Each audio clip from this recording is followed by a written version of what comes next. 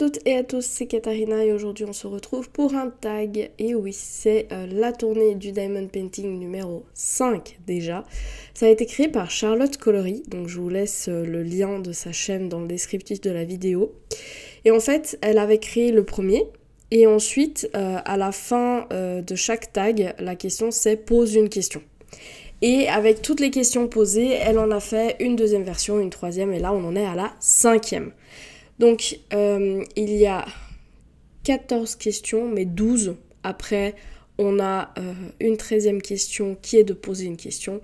Et la 14e, c'est de taguer des personnes, vu que le but, c'est que bah, y ait de plus en plus de personnes qui répondent à ce tag pour que bah, les questions changent, soient un tout petit peu euh, sur d'autres sujets. Et puis que bah, ça continue, simplement. Vous aurez en lien les questions, les liens des chaînes qui ont posé les questions je les connais pas toutes. Donc, euh, euh, je vais essayer de... Ouais, je, les connais pas toutes. J'ai été taguée par euh, Kimi de la chaîne Le Petit Atelier de Kimiline, par Céline de la chaîne Céline Diamante et c'est déjà pas mal, et par Malika de la chaîne D'étoiles qui brillent. D'ailleurs, si vous ne connaissez pas encore la chaîne de Malika, je vous laisse aller regarder parce que ça en vaut largement la peine. C'est quelqu'un de très posé, qui montre ses toiles, qui montre ses avancées, qui fait des unboxings et euh, franchement, ouais, ça fait un sacré moment que on se suit sur Instagram et ça m'a fait ultra plaisir de voir en fait bah, elle avait créé sa chaîne, donc voilà. Et là, euh, aujourd'hui, je vais taguer peut-être des personnes que j'ai pas forcément l'habitude de taguer, mais je veux dire, toutes les copines ont déjà été taguées à un moment donné. Voilà, donc on passe aux questions. Euh, il y en a deux, je crois. Je crois qu'il y en avait deux où en fait je vais euh, faire une petite Soit, non, je vais pas vous mettre une photo, enfin on verra comment on fait. Bref, passons. Question numéro 1, que retiens-tu de tes rencontres euh, dans les loisirs créatifs? C'est par Marina et ses diamants. Euh, qu'est-ce que je retiens? Beaucoup de positif. J'ai envie de retenir que le positif. Euh, j'ai pas envie de me prendre la tête avec ce qui a été négatif là-dedans. Vraiment, oui, il y a eu du négatif, bien sûr, parce que T'as toujours un groupe de personnes qui, qui se sent euh, presque obligées de, de, vouloir faire plus, mieux, euh, de vouloir montrer un peu ce côté euh, supérieur, moi je sais mieux, moi je sais tout. Et en fait ça c'est des trucs qui m'agacent parce que moi personnellement je suis la première à dire je ne sais pas tout. Je peux toujours apprendre, je peux toujours m'intéresser à quelque chose. Je suis ce genre de personne qui va toujours essayer de se remettre en question et apprendre justement de ça. Et je sais qu'il y en a d'autres qui sont pas du tout comme ça. Et sincèrement, ça me, ça me passe par-dessus le système, quoi. À chaque fois, je suis là, mais en fait, remets-toi d'abord en question. Si t'as euh, plein de personnes qui te disent la même chose, c'est peut-être parce qu'au bout d'un moment, c'est pas ces personnes qui font une erreur ou peut-être que c'est pas ces personnes qui se sentent visées par ce que tu dis, mais c'est peut-être vraiment ce que tu dis qui est euh, frustrant pour les autres. Donc, euh, je préfère plutôt retenir ce côté des personnes euh, bienveillantes, des personnes qui sont là, des personnes avec qui on partage la même passion, des personnes avec qui on parle assez régulièrement, euh, des personnes avec qui on peut euh, discuter de plein d'autres trucs qui n'ont pas forcément un rapport avec le DP, euh, des personnes qui sont devenues beaucoup plus proches au fur et à mesure. c'est plutôt ça que j'ai envie de retenir du, des loisirs créatifs euh, et, même si c'est pas forcément des personnes que j'ai pu rencontrer en vrai, c'est des personnes qui au jour d'aujourd'hui prennent une place extrêmement importante dans ma vie et que je considère euh, pour certaines comme de vrais amis euh, sur lesquels voilà on peut compter, on peut parler avec elles, on peut que ce soit de, notre vie privée ou de, choses comme ça et c'est pas c'est pas avec tout le monde qu'on le fait. Donc vraiment en, en 4 ans je dirais que c'est ça que ça m'a apporté, c'est des vraies personnes derrière des, noms d'utilisateurs. Euh, et pas toutes, en fait, ont pris une place considérable dans ma vie. Mais, euh, mais le très petit nombre qui a pris cette place, eh ben, je les chéris vraiment profondément. Voilà. Question numéro 2. Est-ce que vous tenez un carnet de suivi de DP Oui. Oula, j'en ai plusieurs même. Alors, euh, pour le coup, euh, je vais insérer une photo parce que ça va être plus facile pour celle-ci de faire une photo. Donc déjà, c'est Clara euh, de la chaîne Clara DP, Miss Speedy qui pose la question. Donc j'ai un, un, carnet sur lequel je note l'ordre dans lequel j'achète mes DP. Donc petite photo pop à l'écran maintenant. Sinon, j'ai un carnet sur lequel je note les toiles que je fais chaque mois avec, un tracking, avec une tracking list. donc petite photo aussi maintenant à l'écran du, de la page du mois et de la page du tracking list. Et j'ai aussi un classeur où je mets euh, bah en fait mes, mes fiches quand j'ai fini mon DP. J'ai je, créé une petite fiche avec ce que moi j'ai besoin. Alors, c'est une fiche euh, que j'ai fait sur Word, donc euh, peu importe en fait, vous vous faites votre propre feuille avec ce que vous avez vraiment besoin par rapport aux annotations que vous avez envie de faire du DP. Donc moi, au fur et à mesure, je change cette petite feuille. Là, elle a encore évolué par rapport à l'année dernière. Mais c'est juste une feuille où voilà où je note le nom du projet, le nom de l'artiste, le nom de la, de la compagnie, la taille, euh, le nombre de couleurs, s'il y avait des trucs spéciaux ou pas, quel mois je l'ai terminé, le, projet numéro combien c'était. Et après j'ai des petites annotations par rapport à la toile, la colle, etc. Donc euh, je vous mets une photo à l'écran maintenant. Et je crois que c'est tout avec ces trois carnets. Et oui, je garde toutes les fiches de toutes les années, donc euh, j'ai plusieurs classeurs à la maison avec euh, toutes les, fiches d'épée parce que quand j'ai fini un DP, dans les feuilles que moi j'ai fait sur Word, bah, le truc c'est que je mets une photo du DP. Donc même si euh, j'ai offert le DP ou que je ne l'ai plus, bah, je peux toujours en avoir un souvenir entre guillemets. Euh, question numéro 3. Quel site préfères-tu pour le diamond painting pour acheter tes toiles? C'est Green Angel qui a posé cette question. Alors, quel site préfères-tu?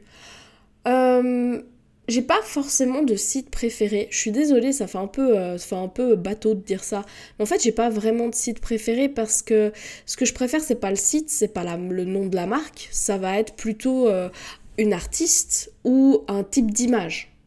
Donc, forcément, je peux pas dire que j'ai un site que je préfère.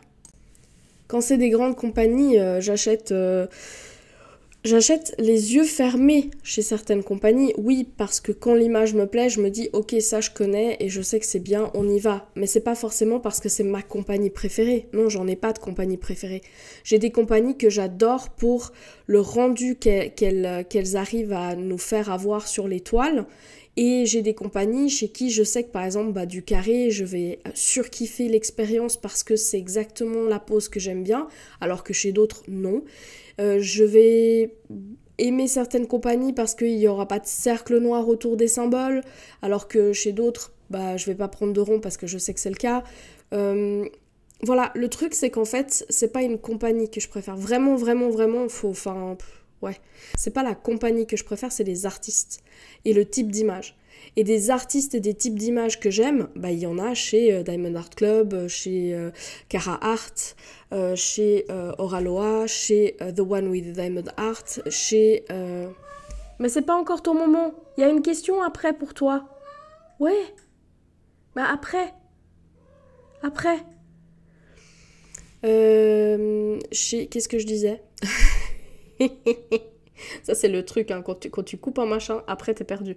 Donc, ouais, euh, Cara Art, euh, Oraloa, The One with the Diamond Art, euh, Dreamer Design, certaines, c'est vachement plus compliqué pour moi de trouver quelque chose chez Dreamer Design vis-à-vis des tailles qu'ils proposent. Et moi, je fais super gaffe à ça. sinon, après, AliExpress, je commande aussi de temps à autre parce que je fais des customs et que les customs, bah, sur AliExpress, il y a des vendeurs qui sont ultra ultra qualitatifs comme euh, Evermoment.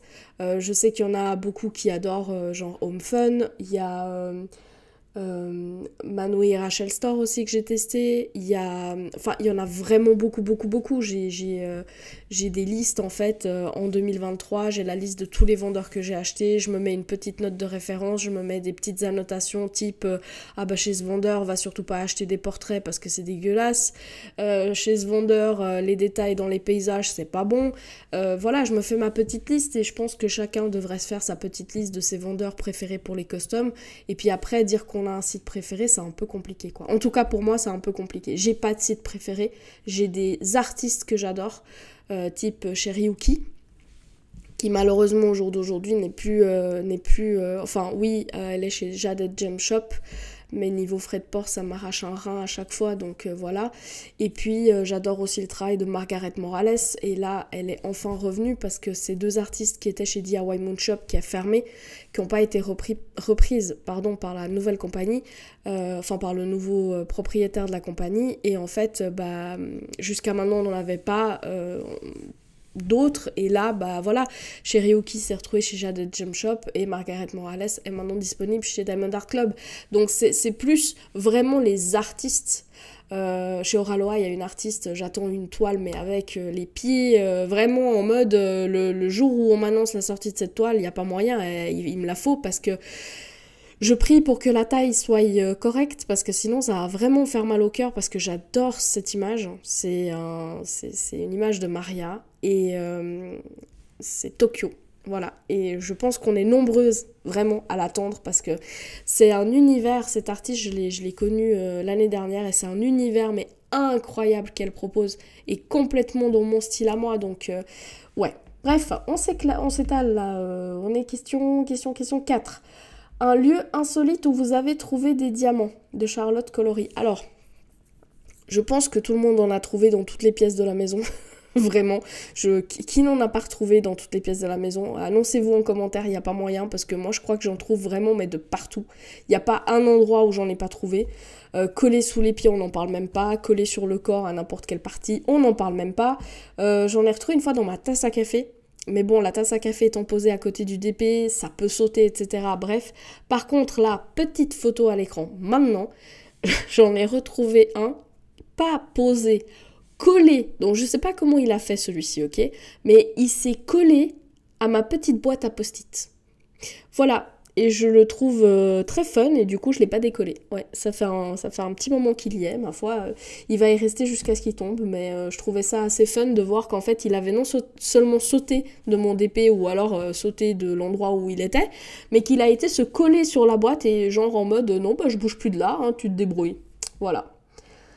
Question numéro 5. Qu'est-ce que vous faites de vos diamants une fois la toile finie, rangée ou jetée de Amélie, donc design et diamants? Là, pour le coup, je vais vous insérer euh, maintenant une petite vidéo de mes boîtes à rangement euh, pour les diamants. Alors, je vous montre sur une boîte parce que les trois boîtes sont identiques. C'est juste que j'en ai une pour les diamants carrés, une pour les diamants ronds et une pour le stock euh, de diamants spéciaux. Vu que je les ai à un autre endroit, les diamants spéciaux. Donc, je vous montre la liste qui est là avant qu'on me la demande. Donc cette liste, c'était Lorraine qui l'avait partagée. Ça s'appelle Stitchastic, donc c'est DMC euh, Shopping List. Voici le lien. Et euh, bah, c'est simplement une petite liste avec tous les numéros DMC. Et du coup, bah, quand je les ai, euh, je mets une petite croix. Cette boîte, c'est une boîte à rangement de cartes Pokémon. Voilà, vous allez sur, euh, Facebook, euh, sur euh, Amazon, vous tapez rangement boîte Pokémon et vous allez trouver, ça c'est juste parce que j'ai un projet en cours avec ça, et vous allez trouver en fait des boîtes comme ça, donc c'est des boîtes, hop là, il y en a des avec que une, deux, 3 ou 4. Moi, j'ai pris directement les 4. Ça rentre parfaitement dans les meubles Calax. Et puis, euh, ça, c'est des petits cartons de couleur qu'on trouve bah, à la papeterie, quoi. Donc, euh, voilà. Les petits sachets, euh, je les avais pris sur AliExpress. Et les petites étiquettes, bah, je note simplement le code DMC et de où ça provient. Voilà. Et du coup, bah là, vous avez tous les diamants carrés. Là, vous avez tous les diamants ronds. Et là, vous avez le surplus de mes diamants spéciaux. Parce que les diamants spéciaux, je vous montre où est-ce qu'ils sont. Voilà, vous n'êtes pas très stable.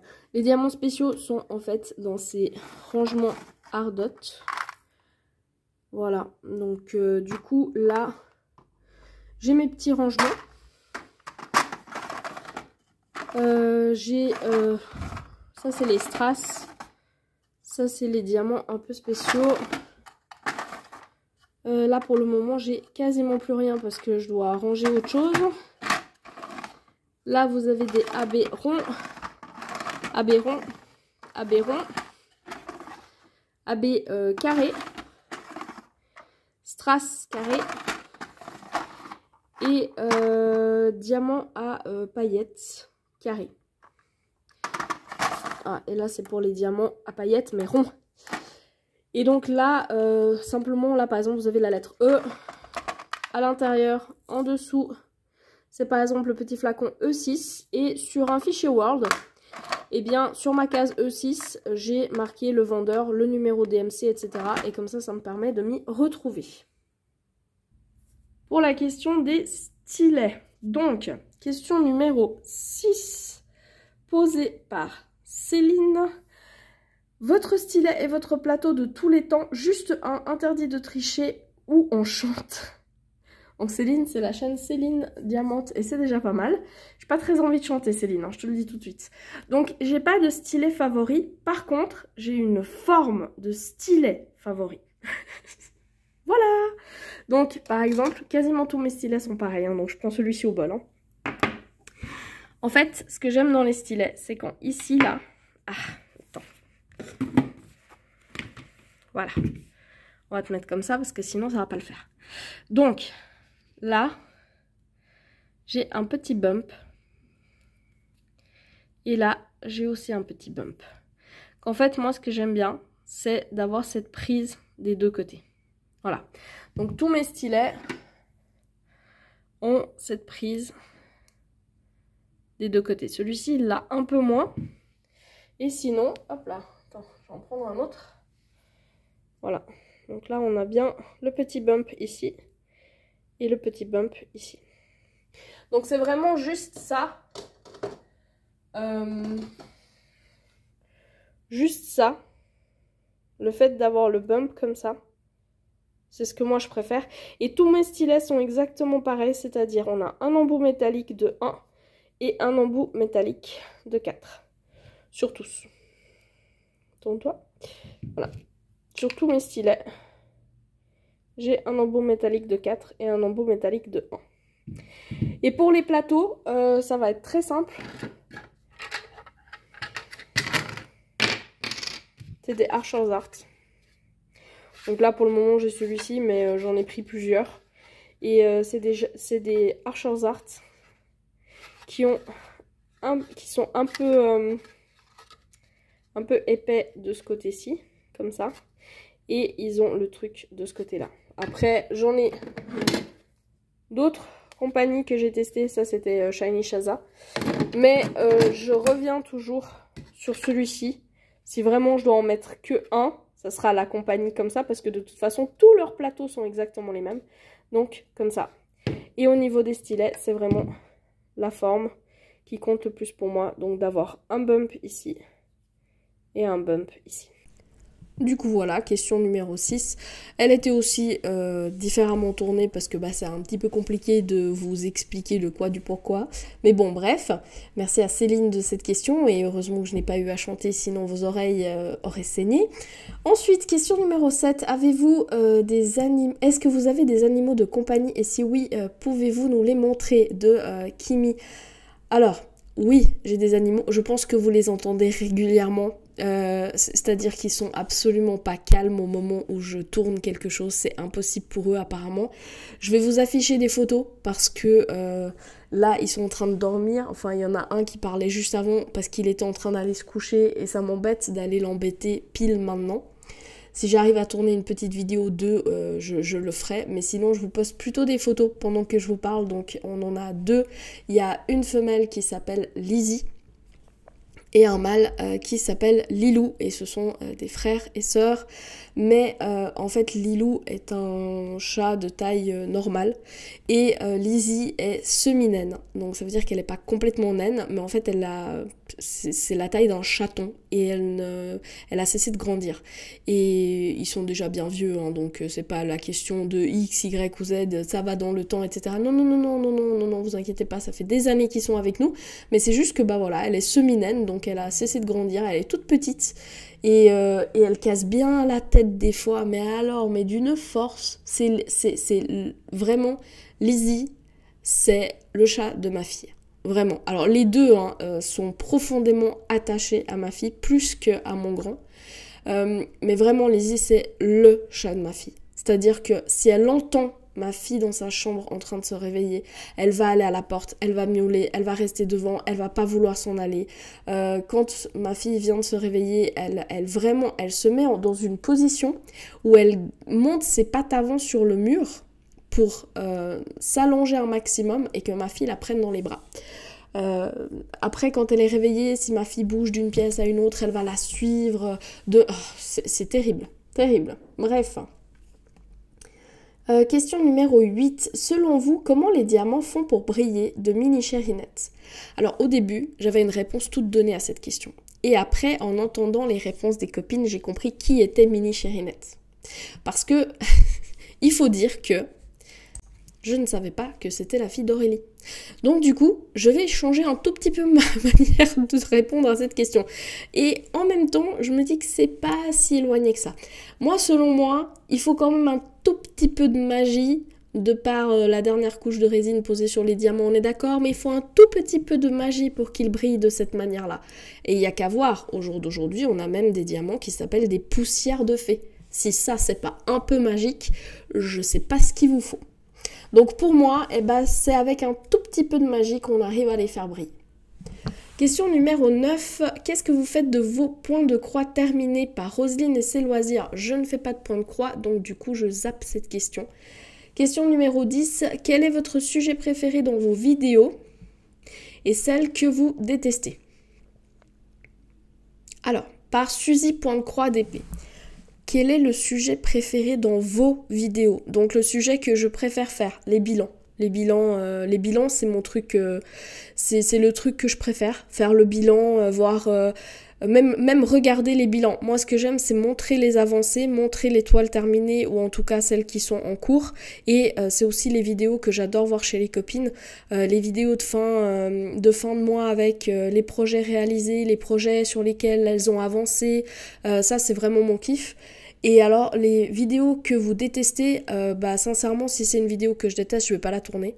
Euh, je, je, voilà pourquoi? Parce que si c'est un truc que je déteste euh, la voix va pas être la même l'envie va pas être la même et vous vous allez le ressentir. Donc c'est un peu ça sera un peu bête de ma part de, de faire un truc comme ça. Donc si c'est une vidéo que je vais détester je vais pas le faire. Le seul truc à la limite que je pourrais dire que je déteste c'est les remises en mode euh, devoir dire voilà c'est bon là arrêtez euh, sur ce sujet ou sur ce sujet mais franchement euh, non en fait. C'est pas une vidéo en entier ça sera juste un petit morceau que je vais incorporer donc si c'est quelque chose que je déteste je vais pas le faire. Et si c'est quelque chose que je n'aime pas je vais pas non plus le regarder. Donc voilà. Question numéro 11 Pensez-vous vous lasser du diamond painting par l'univers créa d'Erika? Euh, je pense pas que je peux me lasser à l'heure actuelle du diamond painting. Je me vois pas me lasser du diamond painting. Par contre, euh, il se peut qu'au bout d'un moment, je doive ralentir mon rythme par rapport à des douleurs euh, musculaires, ligamentaires et compagnie. Je l'ai expliqué dans une autre vidéo, on est dans la famille, on a un syndrome qui fait que on a 80% de notre corps qui est un peu emmerdé, on va dire ça concrètement avec des vrais mots pour que les gens comprennent. Euh, qu'est-ce que ça fait? Ça fait que bah tu marches, tu peux te démettre euh, une hanche, un genou, euh, les chevilles, on n'en parle même pas parce que ça c'est quasiment tout le temps, les les poignets, euh, on n'en parle même pas non plus parce que bah voilà, on se les claque en permanence. Moi, en plus de ce syndrome-là, j'ai aussi une maladie qui m'a attaqué un de mes poignets, donc euh, j'ai déjà passé deux fois par la cause opération. Euh, enfin bref. Et puis, c'est quelque chose qui touche aussi beaucoup tout ce qui est cervical, dos et compagnie. Et du coup, bah, je pense que si vraiment il y a quelque chose qui peut m'empêcher ou m'arrêter de faire du diamond painting, ça sera plus le côté santé euh, que le fait de me lasser de cette activité. Voilà. Question numéro 12, qu'est-ce qui t'agace le plus dans les commentaires? C'est une de mes questions à moi. Qu'est-ce qui m'agace le plus? Les personnes qui font des commentaires qui sont, qui, sont pas constructifs. En fait, concrètement, tu, peux venir me dire euh, quelque chose de négatif sur ce que je fais. Il n'y a aucun problème là-dedans. Mais en fait, si le commentaire c'est j'aime pas, bah c'est bien. Mais qu'est-ce que tu veux que j'en fasse en fait de ton commentaire? C'est pas possible en fait. Si on vient me dire concrètement, euh, ah euh, bah en fait moi j'aimerais bien que tu puisses montrer plutôt ça ou euh, ah est-ce que dans une prochaine vidéo tu pourrais penser à faire ça comme ça, comme ça et comme ça? Si on, si on, m'aiguille sur des choses, si on me dit des préférences, si on me dit ah bah tu vois moi je trouve que ça ça manque chez toi, ok pas de problème. Mais si on vient juste sur la chaîne et qu'on met un commentaire j'aime pas, c'est nul bah, c'est bien, mais en fait on a plus deux ans, donc faut arrêter au bout d'un moment. Faut, faut évoluer, puis il faut essayer de, d'un tout petit peu améliorer le commentaire et l'élaborer de manière à ce que la personne en face, elle puisse comprendre de quoi tu parles. Si on a une vidéo de une heure et que le seul commentaire qu'on a c'est j'aime pas, bah en fait pourquoi tu regardes? Là, là du coup c'est pas moi le problème, c'est toi. Voilà, c'est juste ça en fait. Moi dans les commentaires vraiment, ou alors... Euh, il y a eu une ou deux fois où euh, je, donne les, je donne les renseignements et au début quand je mettais quelque chose à l'écran, je mettais pas des petits, euh, des petits bops, des petites sonneries qui, qui alertaient en fait, entre guillemets, la personne qui avait un truc. Maintenant je mets tout le temps des bops. Chaque fois qu'il y a une petite photo, je mets un petit son pour que la personne comprenne que son égale regarde ton écran. Pourquoi? Parce que même moi quand je fais du DP, euh, c'est en, écoutant les vidéos des copines. Et automatiquement, j'ai pas forcément tout le temps, tout le temps, tout le temps les yeux sur la vidéo. Maintenant, je mets ce petit bruit qui indique à la personne, fais attention, il y a quelque chose à regarder. Au début, je le faisais pas. Je notais à l'écran le renseignement qui manquait parce que je m'étais rendu compte que je ne l'avais pas donné. Et je pouvais être sûre qu'en commentaire, il y avait au moins une personne qui allait me dire Ah bah t'as oublié ça. En fait, non, je l'ai pas oublié. Je l'ai mis, il est à l'écran. Mais voilà, malheureusement, t'as pas regardé. Donc, euh, ouais, juste le fait qu'il y a des fois, les gens vont pas jusqu'au bout du truc. Et ils vont pas écouter où est-ce qu'on donne la réponse à leur question, mais on l'a donné. Ou alors, même, mais, alors ça par contre, ça me... Ouais, ça, ça, ça me tape le système, là, dernièrement, là, ça me tape le système on me, pose des questions, je réponds on ne répond pas en retour. C'est-à-dire, je, on me pose la question, euh, ouais, tu peux me donner ça? Mais ça de quoi? Et après, on répond plus. Mais en fait, à ce moment-là, pourquoi tu poses la question en premier? Si tu n'en as rien à cirer, pourquoi tu veux l'information après? Bref, voilà. Dans mes vidéos, quand je fais les bilans, je mets tous les liens. Soit le lien de la vidéo où j'ai fait l'unboxing de la toile. Sur la vidéo de l'unboxing, évidemment, vous aurez le lien vers la toile, vous aurez tout ça. Mais il y a des fois, à la place d'aller sur la vidéo, de chercher de trucs, je fais juste des copier-coller sur mon contenu YouTube et je les mets dans ma, dans ma barre de description en fait. Et c'est plus facile pour moi. Mais malgré ça, il y a des personnes qui viennent me dire Ah, t'as trouvé où la toile comme ça? Mais en fait, c'est marqué.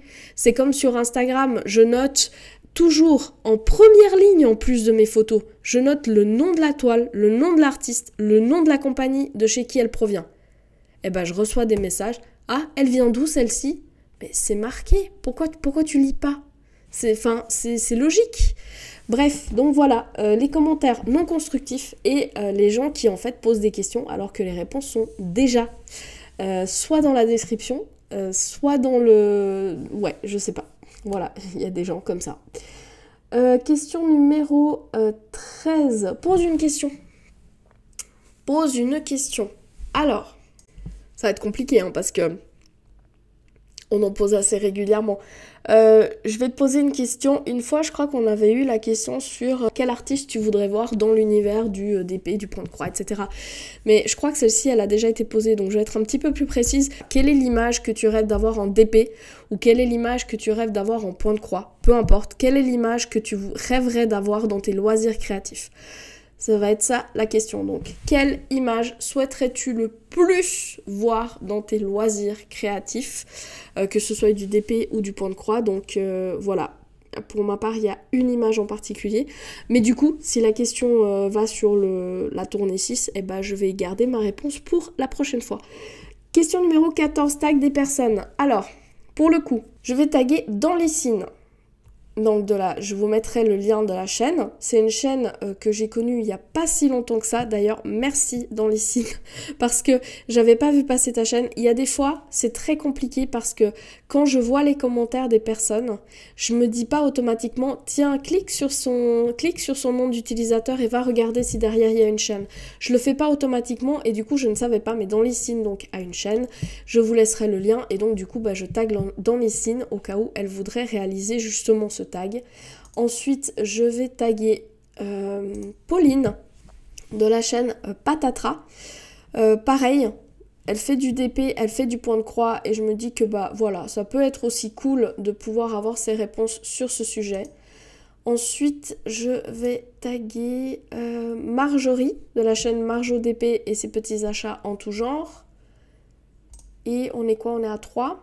Voilà, ça fait déjà pas mal. Hein. Donc euh, je vais taguer euh, toutes ces copines-là. Je vous laisserai tous les liens euh, de leur chaîne en descriptif de la vidéo.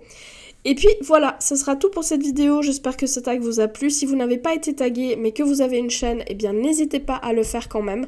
il suffit de, de, mettre la créatrice dans votre barre de description parce que comme ça bah, elle voit justement toutes les questions qui ont été ajoutées et de toute manière je pense que chaque fois qu'on fait un tag on devrait mettre le nom de la créatrice du tag ou du créateur parce que bah, c'est le minimum à faire hein, quand même. Et puis euh, bah, je pense que c'est tout. Donc j'espère que ce petit moment vous a plu. Et oui, voilà, ça y est, je. Mais ça se reconnecte dans mon cerveau des fois. Euh, si vous avez euh, une chaîne derrière votre pseudo, euh, eh ben, n'hésitez pas à me dire, voilà, vous répondez simplement à cette vidéo avec ce que vous avez envie, et après vous me dites simplement, bah si jamais au cas où, moi aussi j'ai une chaîne, viens, et puis au moins comme ça, je sais que bah en cliquant sur votre pseudo, je vais atterrir sur votre chaîne et je vais pouvoir voir votre contenu.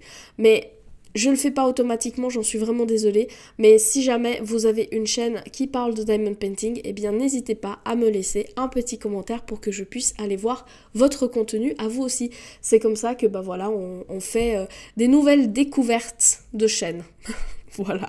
Bref, je vous laisse pour aujourd'hui. Je vous souhaite de très très belles sessions de DP ou de toute autre activité de loisir. Je vous dis à très vite et n'oubliez pas le petit chocolat.